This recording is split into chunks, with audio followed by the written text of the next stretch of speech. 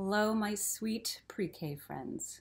Um, it's a pretty dreary day out there right now, but I have faith that warmer, more wonderful weather is right around the corner and we can get back outside again. Today, I'm going to be reading a story to you guys, and then we are going to draw a picture together. And me, I've got um, paints. I have watercolors. I've also got markers. You can use crayons. Oh, I also have water, excuse me, and paintbrushes for my watercolors. You can use um, other kinds of paints, um, whatever it is you guys have at home. And I've got um, white paper. you can use construction paper or printer paper and just whatever you have around the house. So I have this book called Charlie the Caterpillar by Dom DeLuise. That's the author. And illustrated by Christopher Santoro. I love this pictures. He's so cute.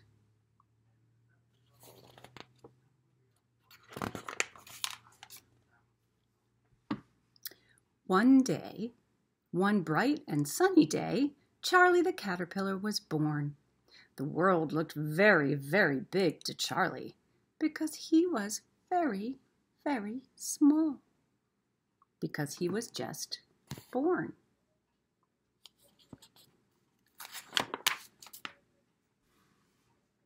Charlie soon found out how delicious green things tasted. As he was nibbling on a blade of grass, he could hear the wind whistling and the birds singing. He smiled. He was glad to be alive. Charlie decided to set out and see the world. So he looked to the left and he looked to the right, and then he went straight ahead.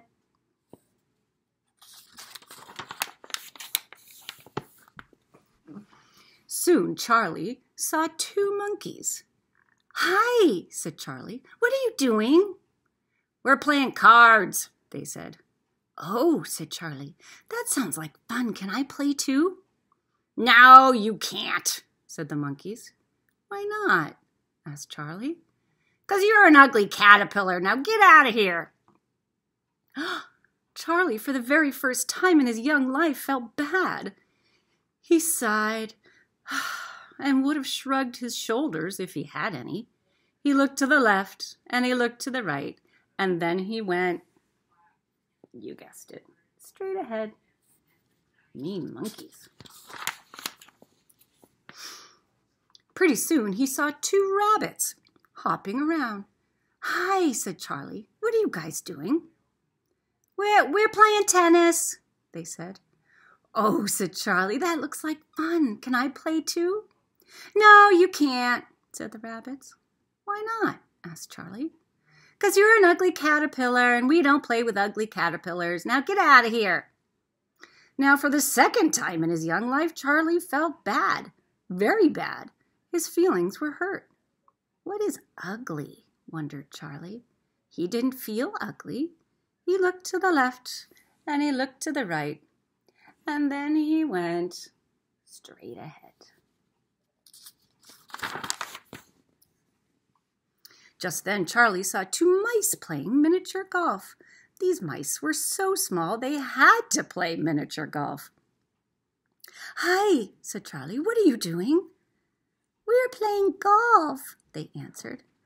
Oh, said Charlie, that really looks like fun. Can I play too? No, you can't, said the mice. Why not? asked Charlie. Because you're an ugly caterpillar, and we really don't play with ugly caterpillars. Now get out of here. Charlie, for the third time in his now not so young life, felt very, very bad.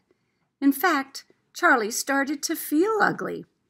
No one wanted to play with him, so Charlie looked to the left and he looked to the right, and then he started to cry. Aw, Charlie wanted to be alone. He climbed up a tree and snuggled up to a small branch. He felt a little cold, so he went like this, and he went like that, and he went like this, and he went like that, and before he knew it, he had spun himself a warm and wonderful cocoon, or chrysalis. Charlie was very sad about that ugly business. Why can't I have a friend? he wondered. Charlie was so tired from making the cocoon that he decided to take a nap. There he is down there, all snug. Ah, what season do you think this is? Fall or autumn. If you said that, you guessed right. What about this one? Yep, winter. All of a sudden, snow began to fall and to cover everything with white.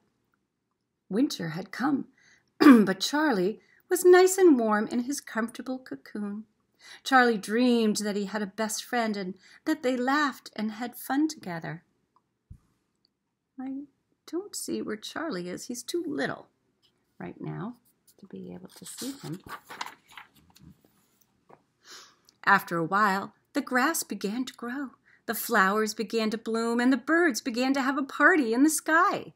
Spring had come, and somehow Charlie knew it was time to wake up. There he is. He's so cute. He yawned and stretched, and then, oh my goodness.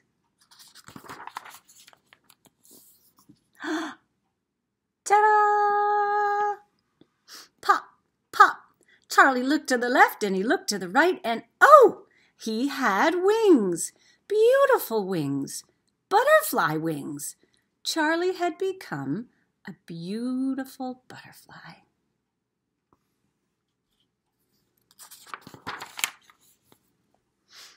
Charlie fluttered his wings, and guess what? He flew up and up and up. He laughed as he soared past the birds, having a party in the sky. Charlie was flying high when he came upon the monkeys, who were still playing cards. Oops, excuse me.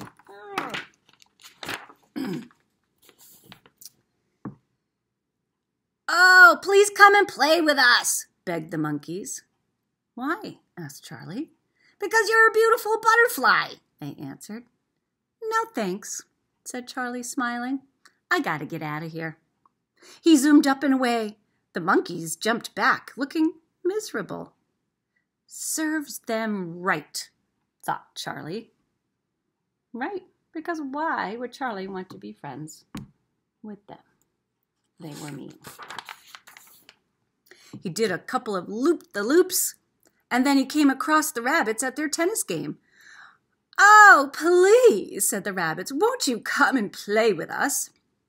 Why? asked Charlie. Because you're such a beautiful butterfly, they answered. Not on your life, said Charlie. Now I gotta get out of here. Then off he flew, leaving the rabbits looking very downhearted. Serves them right, thought Charlie. He circled around for a while and then he saw the mice playing miniature golf. Please, pretty please, pleaded the mice. Do come and play with us. Why? asked Charlie. Because you're really such a beautiful butterfly, they answered. Sorry, not today, said Charlie. I really have better things to do. Now I gotta get out of here. Then off he soared, leaving the mice looking pitiful.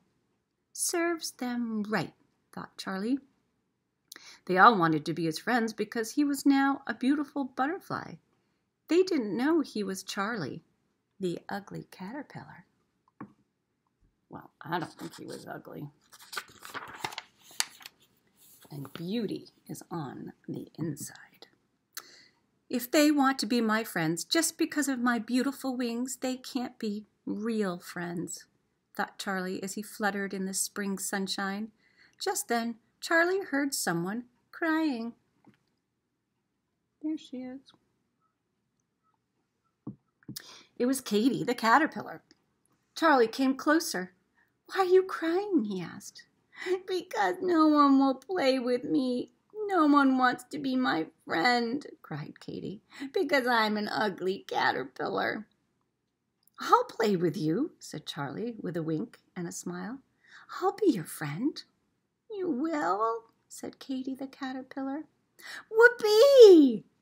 Then Charlie took Katy aside and told her all about becoming a butterfly.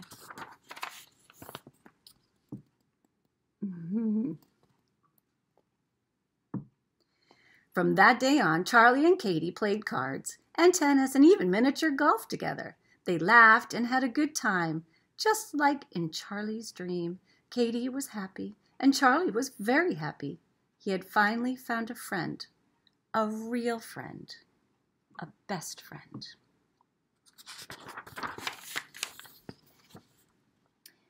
So think about what it means to you to have a best friend. And why is that person your best friend? What do you like about them? And what makes you a really good friend? About sharing? Being kind? There's lots of ways to be a good friend. All right, so now we are going to start our art project.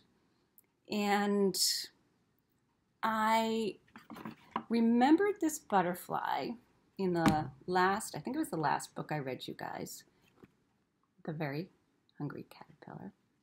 And I thought, oh, that's a really cool butterfly. Um, and I thought, oh, I could pull out my watercolors and try and paint something like this. Now, my drawing or painting is not going to look anything like this. And yours probably isn't going to look anything like mine. And that's okay. It shouldn't. I want you guys to be creative and paint it the way you would like to paint it. But I'm just going to show you some tips on how to get started and how to make your own beautiful butterfly. So today, as I mentioned, we are going to be making a butterfly together. And you can make your butterfly however you want. You can just draw a straight line for the body and then some wings. Or what I'm going to do is sort of this long oval shape, kind of stretched out. And the wings, I'm going to start at the top and make what looks like sort of the letter B. For the wings. Come back over to the other side. And there you have it. Sometimes I like to do the wings pointy.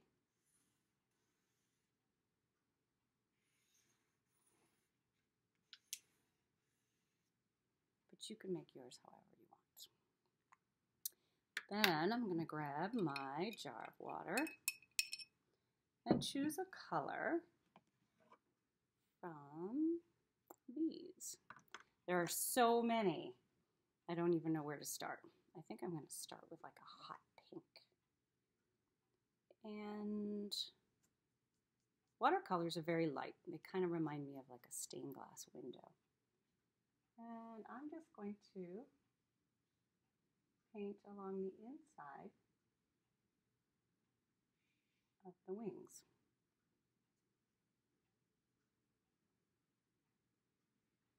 Like that. a little bit more water. And then just keep adding colors as I go. And I can choose anything I want, right? Because it's my butterfly. this time I'm going to choose a pretty blue. And I'm going to make maybe like little circles on the wings.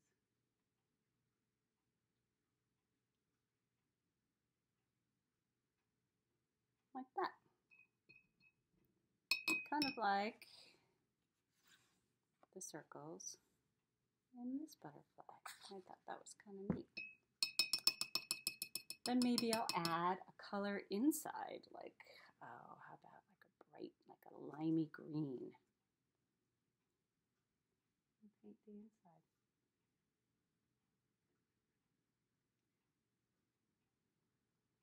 Maybe I'll add more green. I like that. I think I'll do maybe some stripes.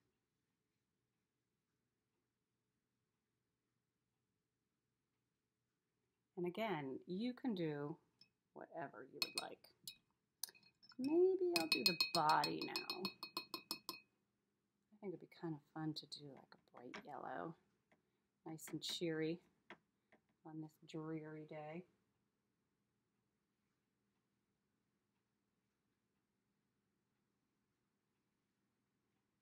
Here, here's our yellow.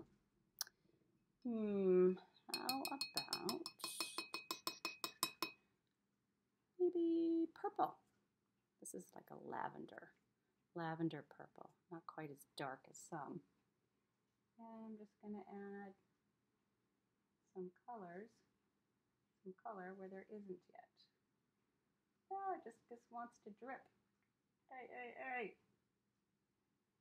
That's the thing with watercolors, they are very drippy.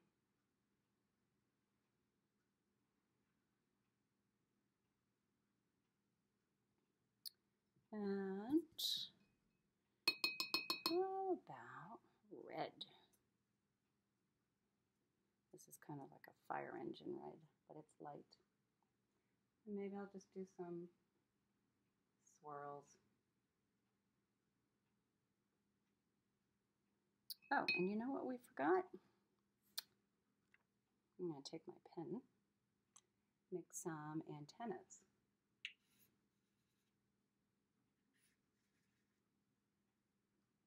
And before my computer died, although it died sooner than I thought, because I did do this kite also at the bottom, and then realized I wasn't even taping the whole time. So all it is, is what shape is that? A diamond, just a big diamond shape. And then I did like the letter T, lowercase t. I connected made a line from the top to the bottom and one from one side to the other. Then added a ribbon or string and then some ribbon on the string. These are really just triangles on each side. And then I painted my kite on the inside. So have fun with whatever it is you end up making, because I and I wish I could see it. Um, and maybe during our next Zoom, if any of you guys have done this, or next week, you can um, use it sort of as a show and tell and show everybody what you did. I would love that. Okay. Enjoy the rest of your day. Love you all and chat soon.